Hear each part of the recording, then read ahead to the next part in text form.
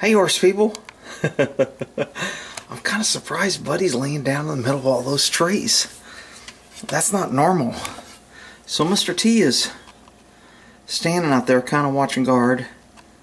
He's not going to lay down in those trees.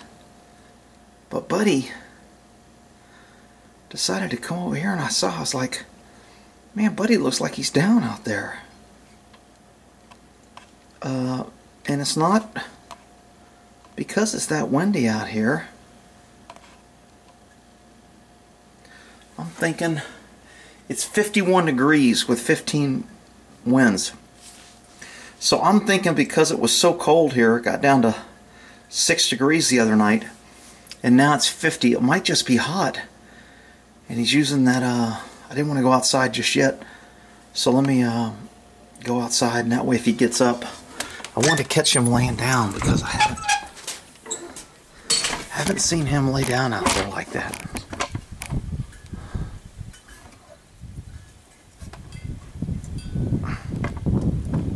Trying to get the thing straight, sorry.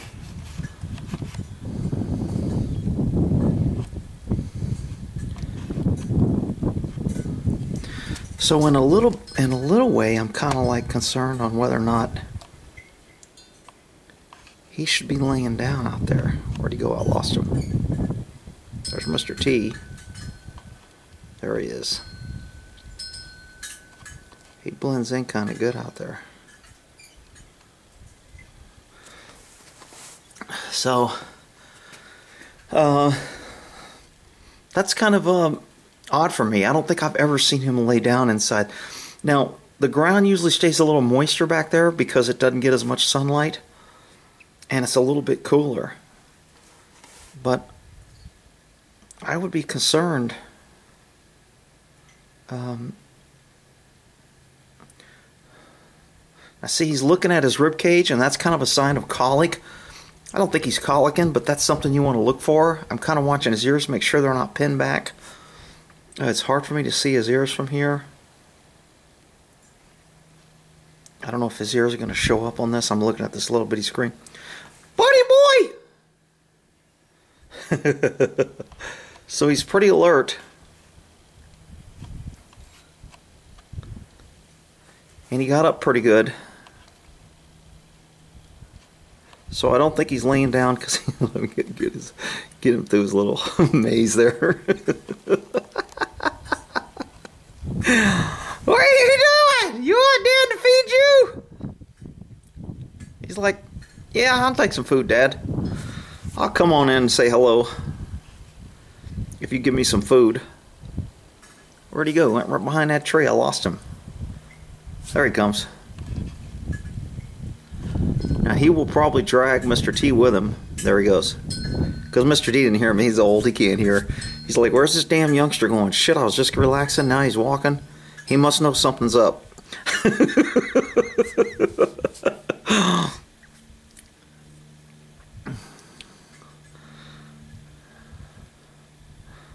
So since they're going to come in and say hi, I bet you Mr. T's peeing because he stopped.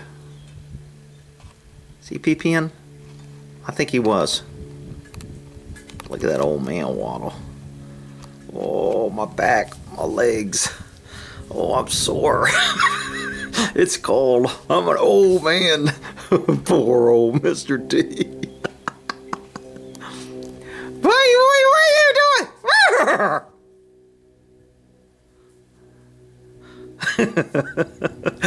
Damn Dennis the Menace, he's up to no good.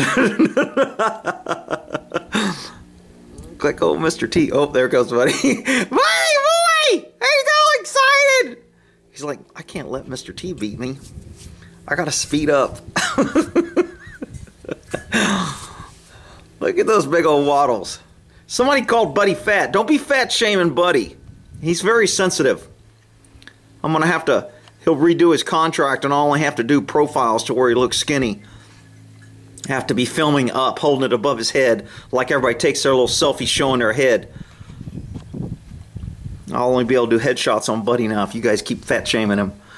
Poor Buddy! They're calling you a fatty! so you can tell Buddy, Mr. Look at the difference in the walk. Buddy's got that little swagger, kind of fast. Mr. T's got that. Oh, I'm old. I'm trying to keep up with the youngster. you guys are good boys. You want Dad to feed you now. I know. I know. He's a good boy. They're calling you fat on YouTube. Poor buddy. I know they're mean. I know. I know. We'll get them. Mean old barn witches. I know.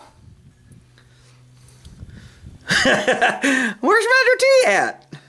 You're covering up for Mr. T. There he is. He's like, I'll hang back here just in case there's work involved. Mr. T must have his escape plan. He's like, I'm not going to get trapped in no damn fence. What are you boys doing? It's almost 50 degrees out here. It's a damn heat wave. I woke up this morning, it was, I think, 11 degrees out here. A little bit of wind. But now it's uh, 2.30 in the afternoon and it's 50. I know, it's cold. I know.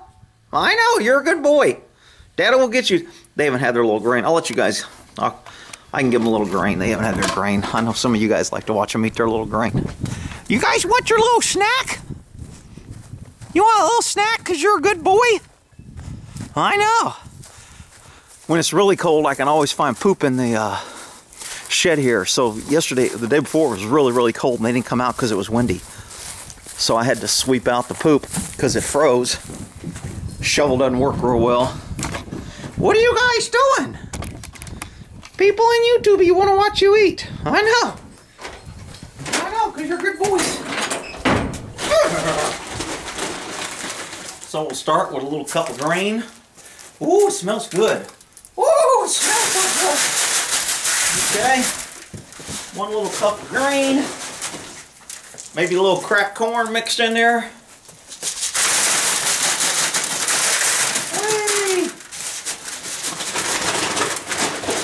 And then just for flavor, a little cup of sweet feed. Do not feed this for anything other than a treat. That sweet feed is not real good for horses. But it's a good little good little taster for them to enjoy their little sweets. I'll get this probiotics here. Hopefully you can see it. And then sometimes I'll just take a little scoop of this and put one on Buddy's side and one on Mr. T. I'll usually give Mr. T two because he's an old man.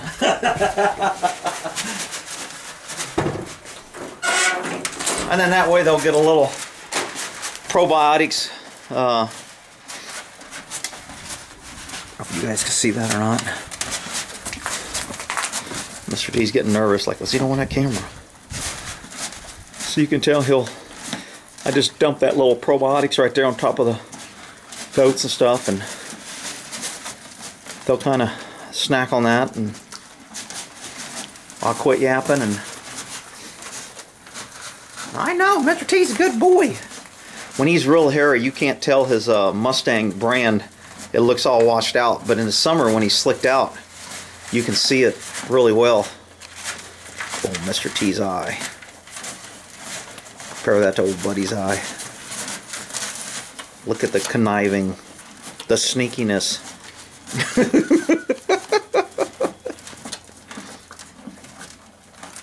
Guys are good boys. Mr. T's got a little drip in his eye. I know. Buddy got a little drip in his eye. Come here. Let me clean those eyes out. I know. I know. He's a good boy. Hi, Mr. T. I know. Let me get that little. I know. He's a good boy. Dad hasn't got that little eye. Dude, leave my damn eyes alone.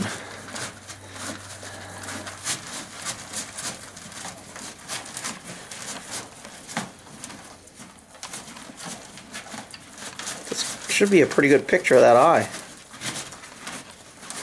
Kind of funny I'm getting that blue. I don't know if you guys are seeing that blue tint. Some physics vet school camera technician can tell me why I'm getting a blue eye. Because when I'm looking at it, what's blue is like a brown.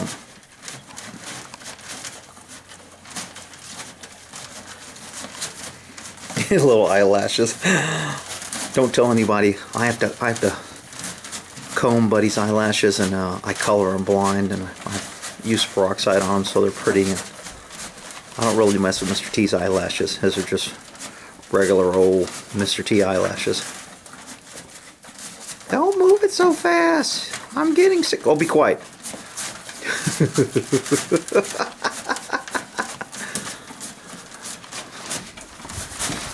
So it doesn't take them that long to eat that. And again, I, I think I might have given them this two days ago. Like I said, every once in a while, I'll just give them a little snack. And uh, I know Mr. T needs his probiotics. Um, and so he's kind of eating it kind of last. Buddy's going to get kind of pushy here in a minute. And if I wasn't here, Mr. T, see how Mr. T has self food less? He likes to eat slower. I spread that out equally. Look how much is left over there. And now Buddy's going to be moving his little lips. So we can watch a little close up on the lip movement here. Get him, Mr. T. Don't let him eat your food. Push him back. Push him back. Push him back. Push him back, Mr. T.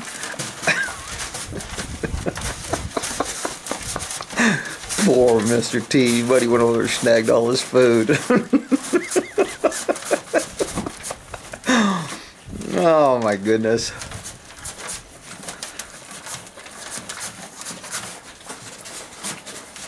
Maybe this will be a good little study video on how they use their little lips and somebody's gonna say he's dropping grain. He's he needs his teeth. He had his teeth floated. He ain't dropping grain because his teeth need floating. He's dropping grain because he's eating grain. Horses are used to eating grass that they can chew. It doesn't fall out.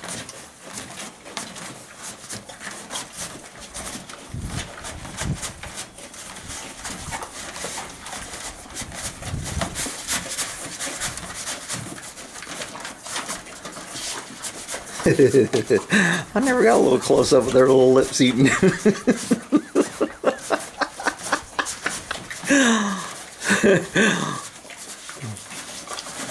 Look at that little nose. How could somebody put a mean old metal paint bit in that cute little mouth and little chin? Rick, he's gonna bite you. Horses don't bite. People stick their damn fingers in their mouth and that's how they get bit. T trying to get every little piece he can. Buddy's trying to get over there and say, hey, I know the old man dropped stuff. I can snag something. Buddy will lick this sucker.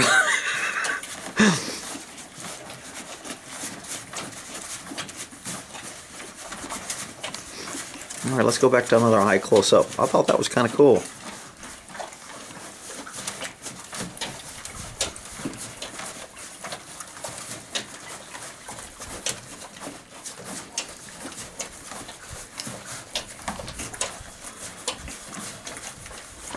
All right, so eyes, mouth, eating with the boys. They came in, Buddy was laying down. Uh, so when, when a horse is laying down a lot, if he's kicking at his belly or rolling or showing discomfort or his ears are pinned back or he reaches back and he bites his ribs several times, that can be signs of colic. That's when you want to watch. But when a horse is just laying down relaxing, I usually don't worry about it. Buddy got up with good activity. Uh, I, I didn't see any signs of colic whatsoever. Uh, hi, buddy. Was that good? Get your little nose. People like your little nose, too. I know. You're a good boy. I know. I know. Mr. T and Buddy's a good boy. Buddy ain't a good boy when he knocks down all the... Look at all that wasted hay. All that alfalfa. Because he's taking his nose and throwing it out. See Mr. T left? And uh, I'll start talking louder, too, but... So Buddy's got cleanup duty after he gets his itch here, he'll go.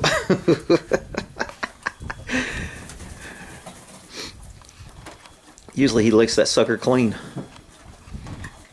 Hi, bud. He's a good boy. He's a good boy.